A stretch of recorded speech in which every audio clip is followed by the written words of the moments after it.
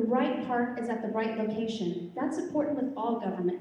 You do not need government at a higher level managing or micromanaging a smaller, a smaller entity. So it is my opinion that the regional parks should be managed by the county, and the smaller municipalities should manage those parks with their resources too. Thank you, ma'am. Same question to you, Mr. Giusti. One minute to answer. I think a lot of it is a communication problem, communications between the cities and the county. You know, if, if there's a county park, we've got one here, we've got Runge Park, here in Santa Fe, that, uh, the county's been talking to the city about the city taking it over, and, you know, it's, it's been going on and on and on. Well, the city doesn't really want it, I don't think. It's a county park, like someone else said. It's a county park. Maintain it as a county park. There's resources there to do it, do it. It benefits people in this county. Thank you, sir. Same question to you, Mr. McDonald. I would like to clarify, are you, are you saying that you're wanting, the, the cities are asking to take the parks over, or should? Well, no, if there has been a discussion within county commissioners about those smaller parks, Runge, one of them, Washington Park, Paul Hopkins and Dickinson, about having, turning over the operations of those and maintenance of those to cities and let them have those and let the county just run the regional parks. Well, I think it's the county's responsibility to maintain these parks. It's part of what you folks are paying for as services. Now, if the city just jumps up and down, they want to take it over, and they want to take the responsibility on, that's one thing, but I think it's the county's job to take care of these parks. That's, that's part of, uh, our deal to give back the taxpayers. So, yes, I think the county should keep control of the parks. Thank you, sir. Mr. Listowski, your, your turn to answer, one minute. Uh, if it's a county-owned park, I, I think it's the responsibility of the county to continue to maintain it.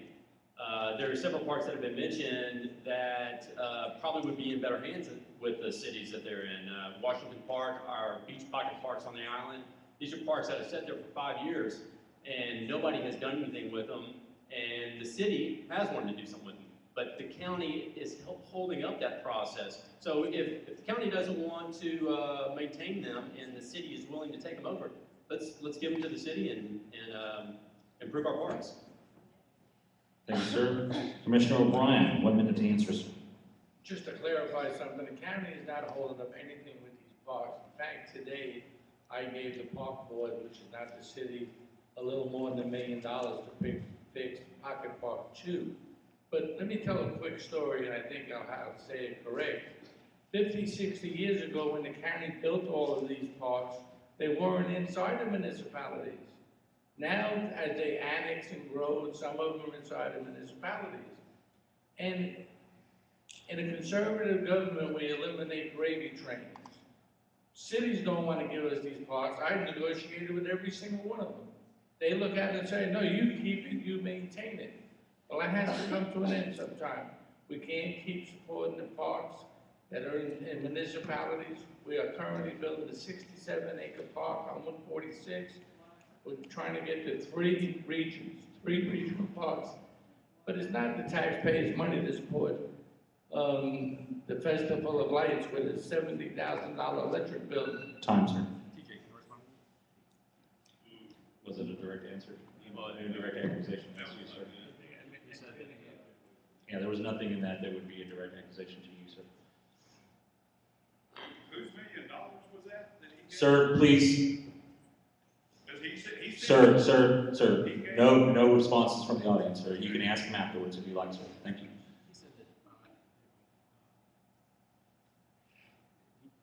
I, I responded that nobody has done anything in the last five years.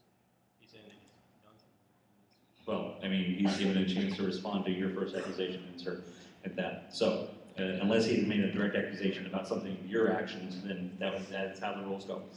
All right, next up, I'm sure we'll get a little livelier here on this one, uh, as well. Again, folks, I understand you, you'll have a chance to talk to the candidates afterwards, uh, if you could, please. Uh, next question, Ms. Hoffman, you'll get this first. How would you rate the county's mosquito control? What changes, if any, are needed, and how should those changes be implemented and paid for? One minute, please, ma'am. Three years ago, the budget for mosquito control was eight hundred thousand dollars. Today, it's just over a little million dollars with three hundred thousand dollars in reserves. This is an interesting question, and that I had twenty-two separate answers for you, TJ, when I wrote this question. Um, it was on the Galveston Daily News questionnaire. I think, I think it's going to become a responsibility of everyone to look at mosquito control. There's a lot of things that we can do to help each other with mosquitoes by, by dispersing standing water, for example. We can continue to tax and, and solve the problem, but the, but the better, the better solution is to look at how we're controlling mosquitoes at a local level and what we can do for each other to stop the growth of mosquitoes. And like I mentioned before, dispersion of water is a key element in that, among other things. So that, I guess that would be my response, that a million dollars is a lot of money, and how much more do you want to spend to kill some, some mosquitoes? Time, ma'am. Thank you. Mr. Giusti, one minute, please, sir. To start with, the county mosquito control has a great staff of people, and they are run very well. I think that they need to be sat down and talked to, and let them evaluate the problems, and tell us what they need. If we listen to them, if they need a little bit more, then we give them a little bit more. But we also need in our preparations and our plans, that if a storm comes up, we don't let our airplanes drown because we forgot to take them out. So there's a lot of things that we need to do at a higher level, but I think we really need to support our mosquito control staff. Thank you, sir. Mr. McDonald, one minute to answer. Um, This is a tough one living in the area we are with the wetlands, with the Brazoria Wildlife Refuge down in two thousand four, they don't spray at all. So if we get a good wind, we're gonna get them anyway. But I talked to a couple of mosquito sprayers here not long ago.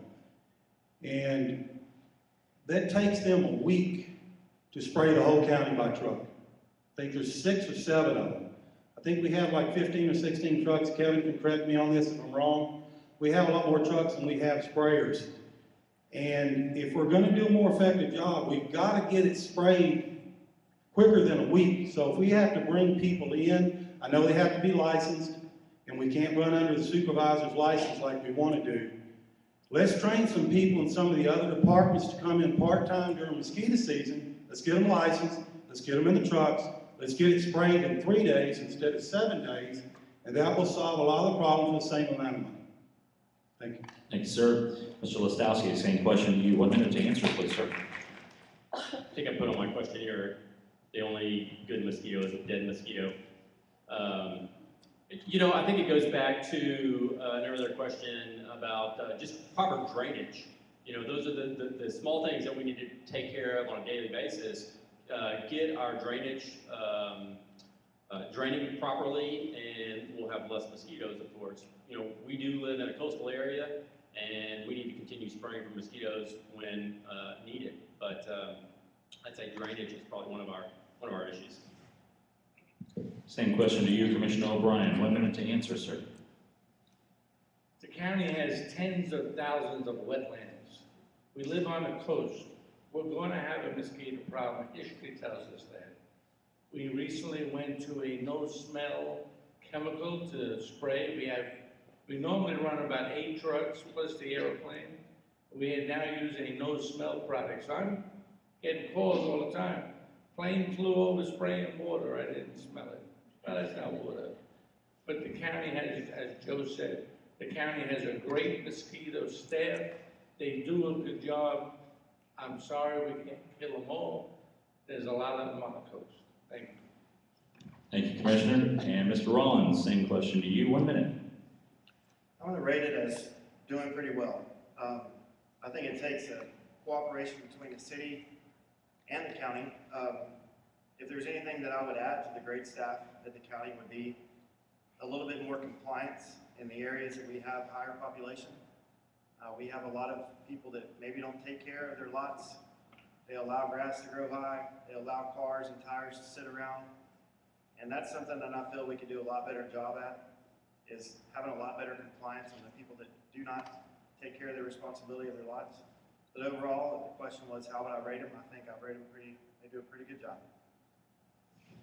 Thank you, sir. Next question up, Mr. Giusti, you will get this in one minute to answer. This somewhat refers to, uh, to this Commissioner O'Brien's opening statement that he said would be hearing from this group, so we'll, this is a chance for everyone to get started, I guess.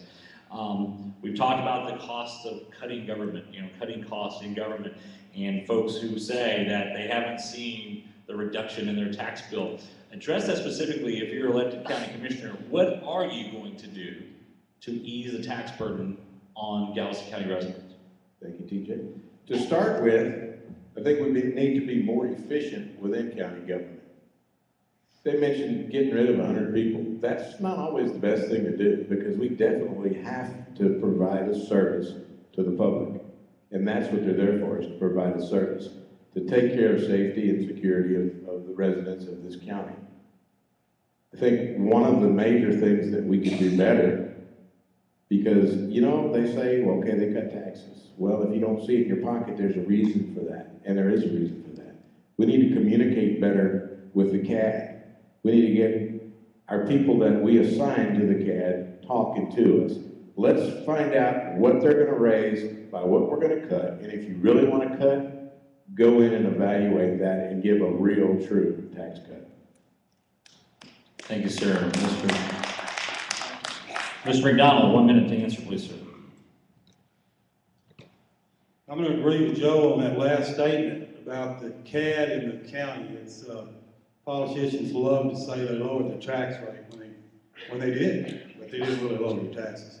They look at what the CAD's gonna do. I know the CAD went up two and a half percent in the last budget, uh, over what the previous year was on their last appraisal. It went two and a half percent countywide on their, their appraisals, if I'm correct. Now, we brought in less money, that generated less money, I think nine hundred twenty-five thousand dollars less. But my- personally, my CAD went up forty thousand. So my home went up forty thousand too, so wasn't any, my tax didn't, rate didn't go down, it did go down, money didn't go down. Uh, we need to look at, at a little more communication. If you wanna do the right thing, anybody can cut services and, and save money. The, the key is gonna be to provide the same level of service without cutting. So let, let's work on that a little bit. Thank you, sir. Same question to you, Mr. Listowski. You know, I, I'm one of the, one of the people that keep bringing up that, uh, we continue to pay more out of our checkbook each year. Um, and, and, uh, the commissioner is correct when they say they reduce taxes. But we need to look at, um, the CAD values and our tax rate, and we need to adjust that accordingly. The, the tax reduction that we've seen is just a token tax reduction, in my opinion. Um, we need to, we need to communicate better with CAD. Um, Commissioner O'Brien said that, you know, don't look at us, that's CAD raising your, your value, so you're paying more money each year. But we need communication there between the two. And, uh, we, we need that, that ratio to be similar, so where our tax, our- as our values go up, our taxes come down at equal rate. All right, Commissioner O'Brien, you get, uh, to answer that next.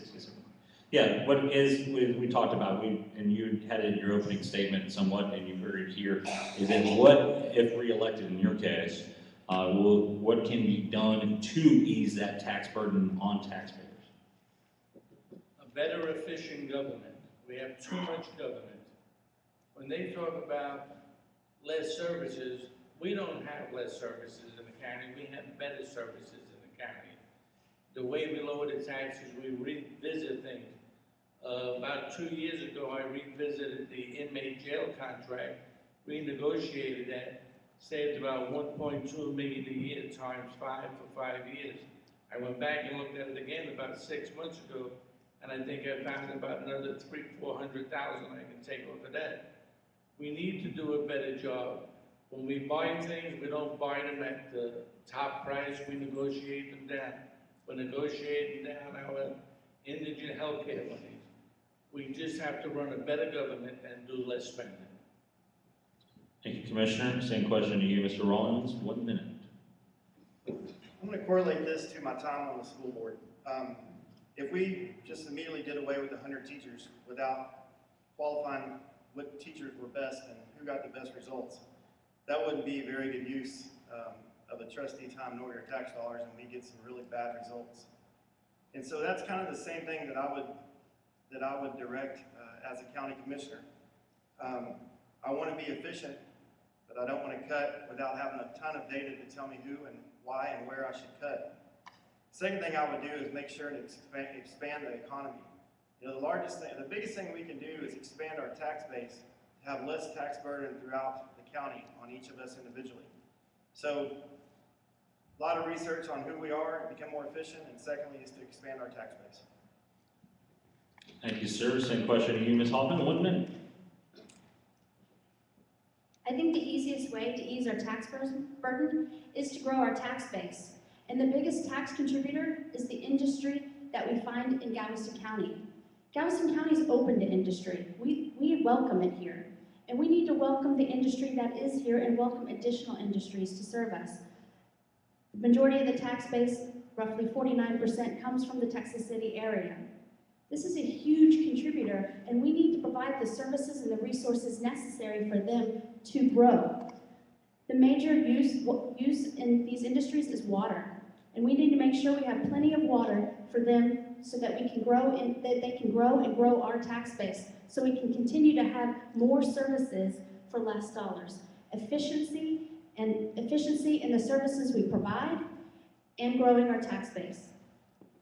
Thank you, ma'am. Next question up.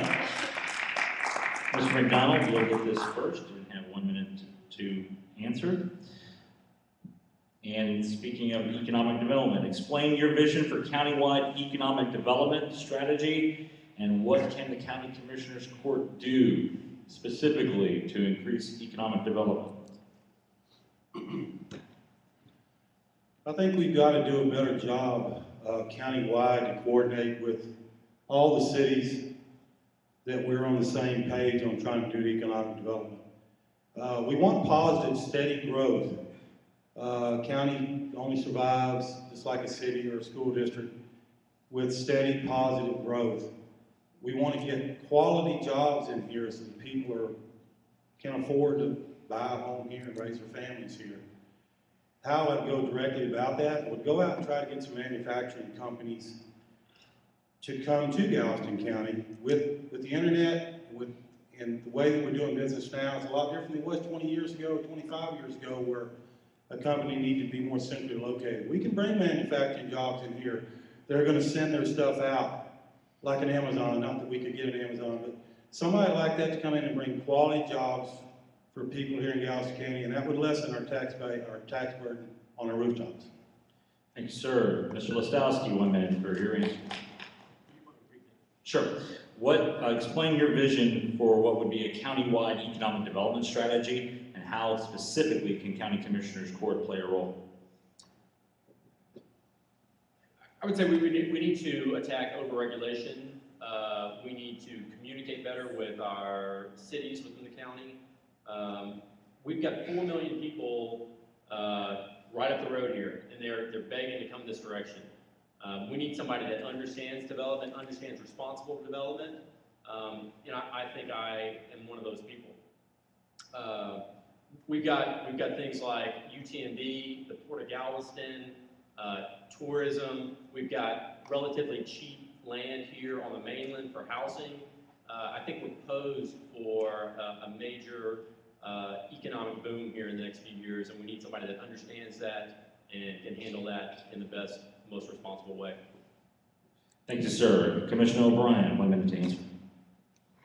The county has been working on economic development since the first day I took the job. Um, there's things we had to do. We had to clean house. We had to make a strong government so industry and businesses see that, well, in Galveston, Texas, Texas, they're low in taxes every year. They have a good government. We had to build our government first. Recently, we were gonna lose a chemical plant over in Texas City that had hundred and seventy-five jobs. We negotiated a tax abatement, abatement with them kept hundred and seventy-five jobs here in the county. As far as coalitions, we belong to, have several different organizations, but it's difficult if Texas City knows they're getting the Sam's and La Marque knows they're getting the Buc-ee's, they're not gonna talk to each other. They're not gonna see what is the best fit for what city. That's the role the county wants to take. We want to see what is the best fit. But when people go to different municipalities like a Sam's, Understood. they ain't. Mr. Rollins, one minute. Quality of life issues, I think, are one of the biggest things that we're dealing with um, here in the county. Uh, Being on the school board and constantly uh, being part of families and children of Galveston, I think the very most important thing is having vitality for our families. Um, It seems as though we kind of forget that in the, in the realm of economic development, but as far as I'm concerned, families and having a nice place to live is economic development. Uh, without that, without that structure, uh, we can forget people, um, sending things out, sitting in our restaurants or having people come to visit our hotels. It's very important that we, again, create, have a lot of super focus on those families. Secondly, I would make sure that we follow through on projects like the Pelican Island Bridge and not just have it as a pie in the sky and actually commit to it, follow through with it and get it done instead of constantly talking about it. And that takes communication with our cities, and communication with our county, and uh, having a lot of agreement and follow through. Thank you, sir. Ms. Hoffman, one minute.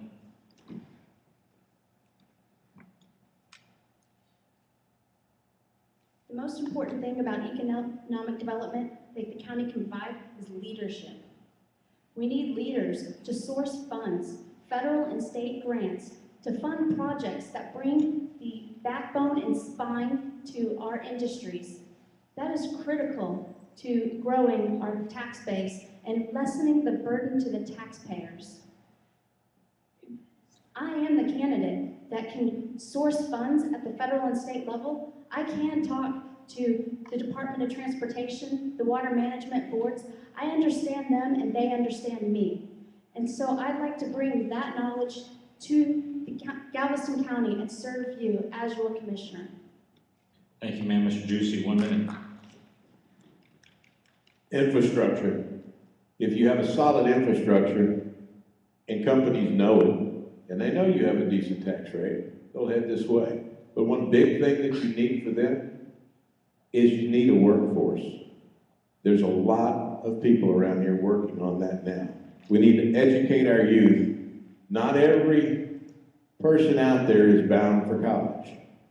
Our local community colleges, our local colleges are doing a great job now. Our high schools are doing a great job now of educating our youth, of putting programs in place that they can use to go into the everyday workforce. Not everybody's gonna be college educated. We need welders. We need people that can do other work.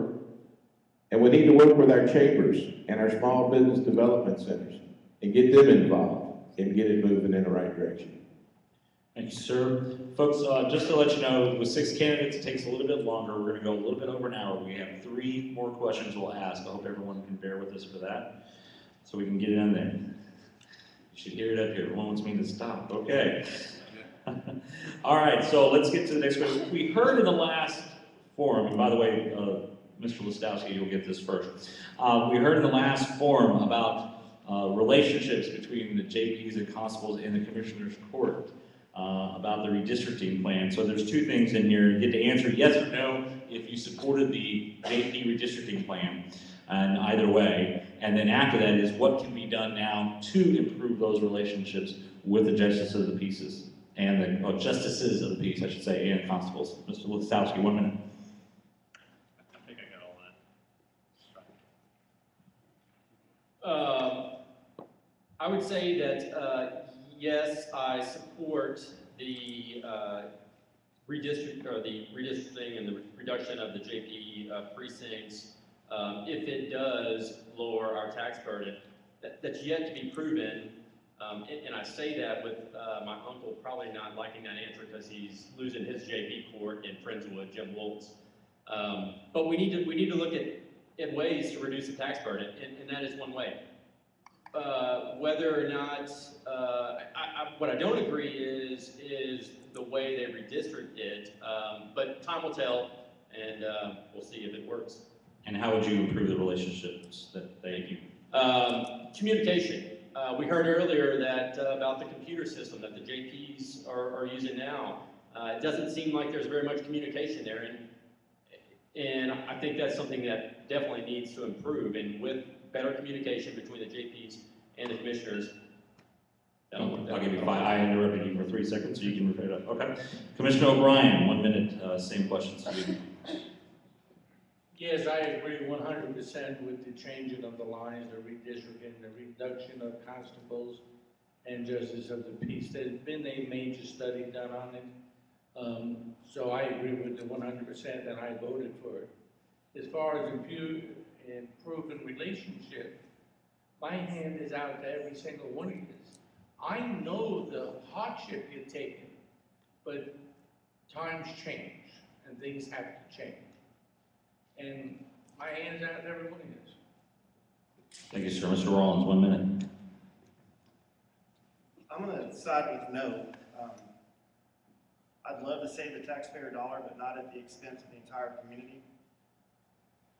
It's kind of about the same correlation to me as seawall parking in Galveston. It was about that well thought out, which was not thought out at all. And so I really would have to side with no. I don't think it was a good idea at the time. I think there should have been a lot better plan in place before they initiated. it. How would I fix it?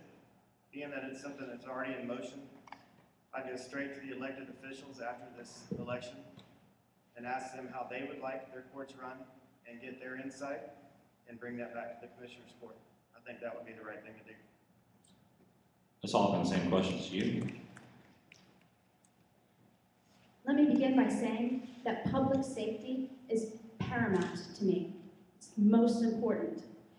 I wasn't privy to the discussions about how the reduction or the redistricting or how, the- how it came about, the decision-making to reduce the JPs. But going forward, but going forward, I think it's important that we monitor it constantly and we make sure that public service, public safety is not in jeopardy. And that we watch, we watch what's going on and ensure if we need to add additional JPs going forward, that we do so. But right now, we have what we have and we should monitor it constantly. And as your commissioner, I will monitor it. And how to improve relations, as we heard tonight from a couple of the candidates. Well, as your new county commissioner, they should have no reason not to like me. Mr. Ju- Mr. Giusti, one minute. Yes and no. We needed to do something. Did it need to be as drastic as it was? I don't think so. Are they gonna save a million dollars? No, they're not. Pie in the sky, get rid of this, get rid of that, but then we're gonna leave all the offices open. You leave all the offices open, guess what? That's where your money's at. It's in those offices, it's not in that JP and in that constable. You don't pay them that much to save a million bucks. That don't add up to a million bucks. So, did we need to do something? Absolutely. Did we do it in a way with no transparency? Absolutely not. You don't post something on a Friday and vote on a Monday with no public input. How can we improve? Elect me. Mr. McDonald, you get a final word on that question. I think it's yes and no too. I think that nine was probably too many, but four is not enough. There's no way with a county with three different land masses being the peninsula, the island, and the mainland, it's not gonna work. I don't care how they wanna slice it and dice it. It's not gonna work. A person that has to drive from San Luis Pass, yeah, they're gonna keep the other offices open. If they do that, the real savings is gonna be around three hundred thousand bucks if they're lucky. Mr. O'Brien said, well, that's just the way it is and things change. We don't have to cut service to people. If they're willing to pay for that service, we need to provide that service. We should have went to the people and we should have said, hey, y'all still willing to do this? And if you are, then we keep it in place. They took it on themselves to do this in their scope of things and what they thought was good for us. Maybe they need to start asking us what we think is good for us before they go and assume something like this. Thank you. Yes, sir. All right, uh, next- the- this will be the last question. We'll go ahead and wrap it up on this one here. And Mr. Commissioner O'Brien, you'll get this first. What can be done to expand and/or approve county services in the West County, all of precinct two, we should say, but particularly the West County area along the Highway six corridor? Commissioner? my number one priority would be police protection. Uh, but infrastructure, there's many things, we, we could always improve what we're doing. But mainly, I would like to see more, uh, police. Mr. Rollins? Whenever I committed to go on, being on the school board in Galveston, I wanted to attack it in a way that people could see me. They could see me out, they could see me at the schools, they could see me at the administration building. And I took the time to get to know each and every teacher, each and every janitor throughout the entire district. That's the same thing I would do as your county commissioner. To me, the, the biggest thing is working it full-time, and I'll outwork anybody that is on that commission to make sure that my precinct gets the very most representation. And I think that's what it takes. It takes senior commissioner on schedule throughout the week. At any point in time, you're able to talk to that commissioner.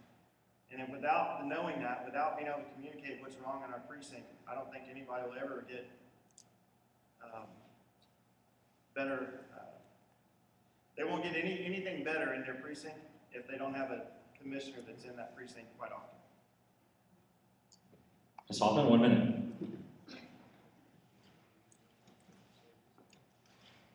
I'm going to be available to you.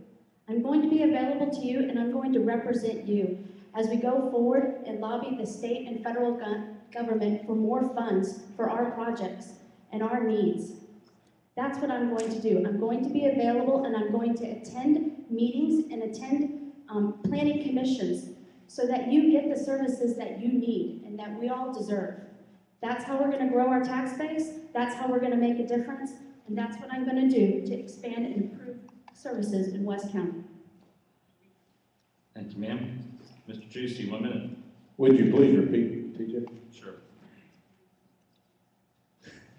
Thank you, Ms. Hoffman, appreciate you doing that. It, basically, it is, uh, how, what, how to expand or and improve services, particularly all of the precinct, but specifically this Highway six corridor, West County. There's been a couple of things mentioned. First and foremost, being full-time, being there for the people every day, not call me and let's make an appointment and let's talk, but call me directly, I'll come see your problem. It was done that way years ago, it needs to be done that way again. Let me see where your problem is, I will bring road people with me, I will bring drainage people with me. We'll come evaluate your problem, and we'll do the best we can to fix your problem. Thanks. Mr. McDonald, same question to you, one minute. I think one of the main things we need to improve on services wise, and what I will set out to do is, we need more deputies out here on the back roads.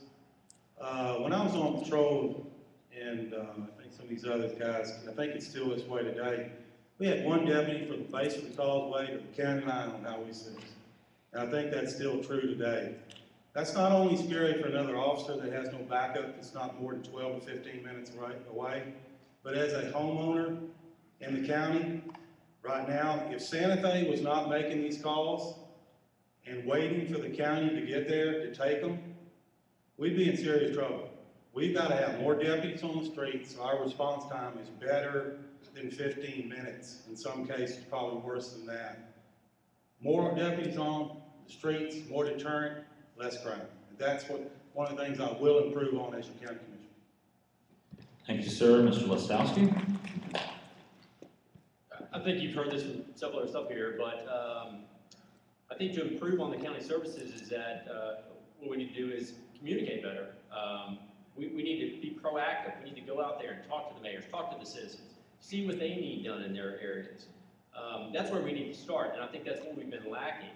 Um, we've got, we've got five very qual- qualified candidates up here running against an incumbent. We're all in the same party, so we know something's wrong. And, and I, and I think communication is one of the key things that's wrong, uh, with, with our current commissioner. One of the things is, yeah, uh, since it was a direct accusation to Mr. O'Brien, Mr. O'Brien, yet against, it's about communication, it was his direct accusation with you, thirty seconds. I've been available for everybody and I'm gonna remain available for everybody. He also touched on everybody belonging to the same party and things like that. And he's also talking about how he's endorsement. Sir, sir, it's about communication only, Yeah, that's the direct accusation. All right, thank you very much for answering all of our questions. Give him a hand if you would here for our folks. Sorry we kept you a little bit later than we planned on.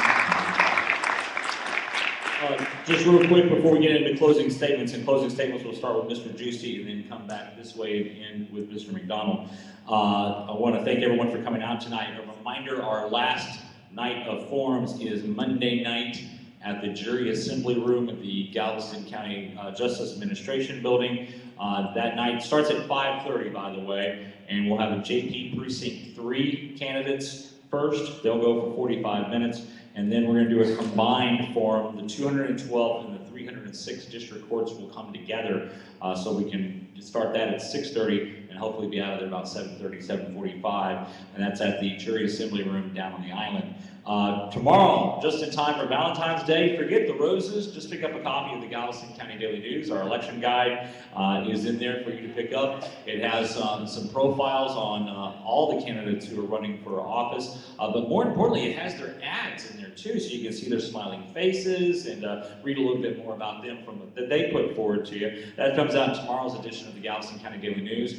The questionnaires, all but one candidate of the 54 running in the contested races this year, all but one candidate filled out our questionnaires completely. They are online free uh, for you to go look at. They are also, we are running excerpts of those already uh, in the paper, and I do believe tomorrow is the County Commissioner Precinct 2 uh, questionnaires. They'll be running in the paper tomorrow. So if you didn't like what you heard tonight, you get to read what they said uh, in tomorrow's paper, and we'll be running those throughout. Early voting starts on Tuesday. Make sure you get out and vote, and it continues until March 4th, and we'll have live coverage of election night on March 4th to tell you who the winners and the losers are online at galvnews.com and also in print. Time now for our closing uh, statements, and as I said, Mr. Giusti, one minute, and uh, I won't introduce everyone, go down the line, just everyone keep going so we can wrap up and get everyone home. Thanks, TJ. My wife's gonna be real happy with me tomorrow when I bring her newspaper. I think uh, what you need to do, like I said before, is investigate each candidate. Look at our cards, go to our websites, check us out, see what we've done, see what we're capable of doing, what we've been doing our entire lives. There's some things that I want to get done for this precinct. First and foremost, I would definitely like to see term limits for the county commissioners and the county judge. The Ike Dike needs to be built, roads and drainage needs to happen. We need to focus on people's property rights. We don't need to take people's property away. We need to help people, not hurt people.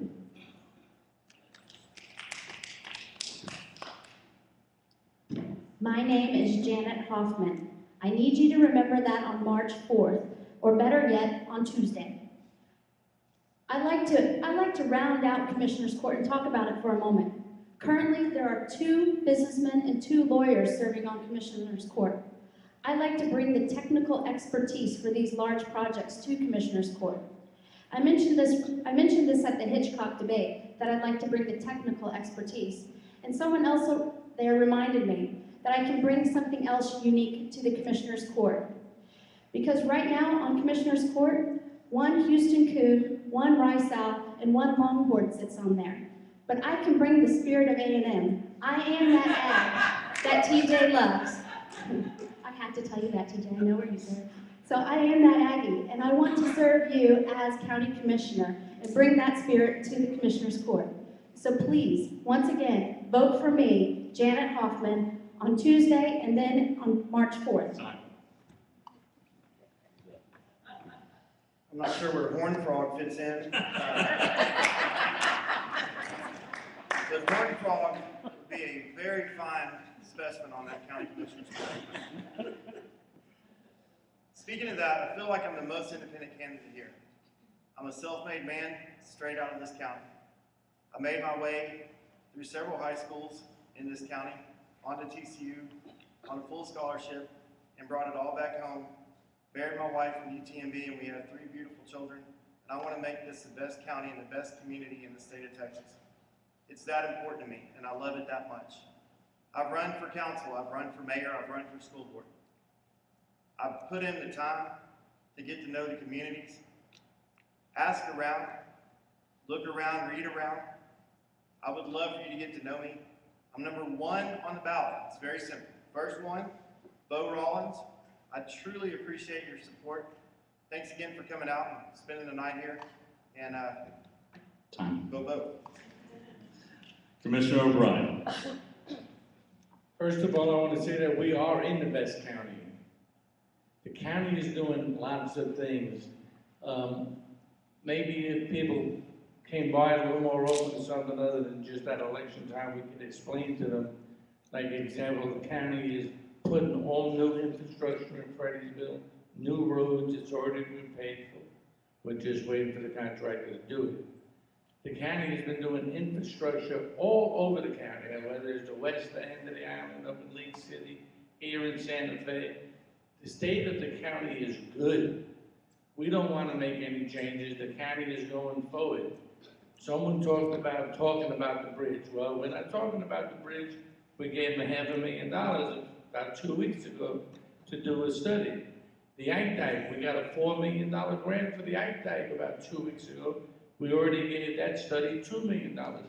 We're not talking to talk. we're, we're doing it, we are doing the job you elected us to do. Time, sir. TJ, I want to Mr. Listowski, one minute for your closing. There's two Aggies up here, so it's gonna be a hard decision when you go to the polls. Uh, you've heard a little bit about my business experience, my service to my community, all the boards and commissions that I've served on, the boards and commissions that I continue to get appointed to because of my responsible and reasonable decisions that I make on them. Um, I, I believe I have the experience and the skill set to serve you well as your next county commissioner. Uh, please, please get to know all of us. Please call me, uh, get to know, get to know me better if you have any questions. Um, thank you for coming out tonight, and, uh, I'm John Paul Ostowski. Please come out and vote, uh, either in the early, early voting or March fourth. Thank you.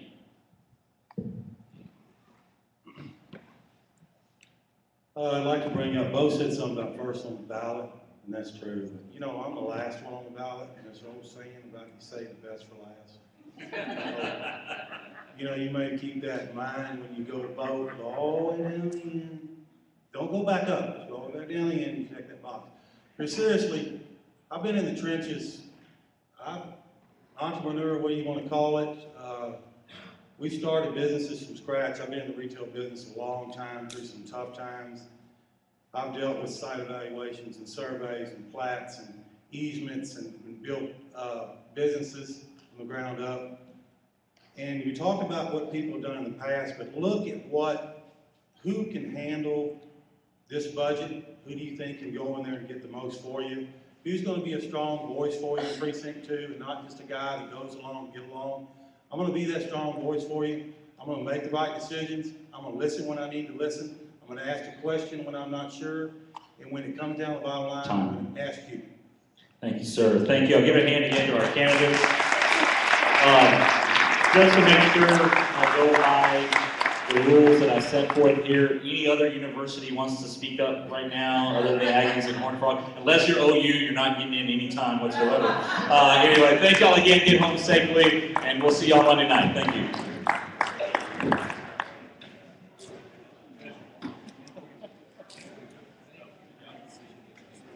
How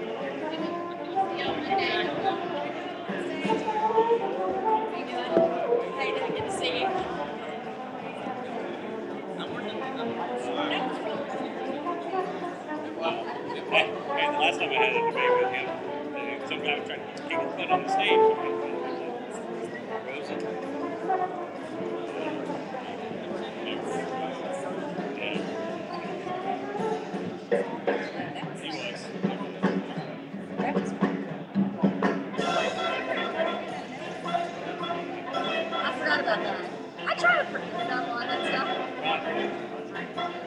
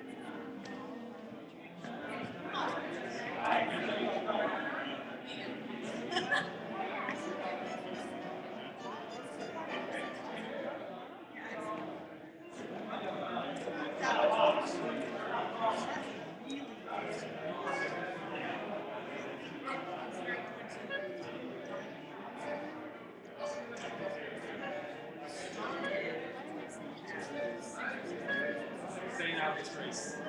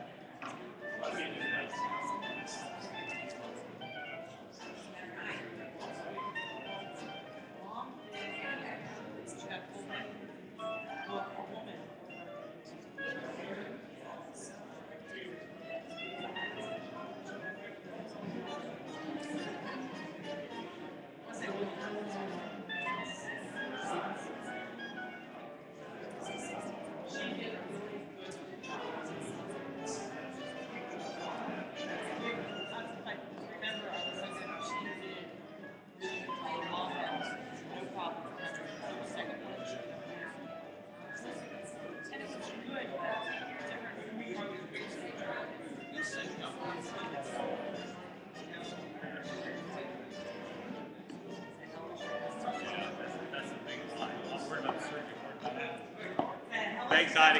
Take care of her by the time. Yeah.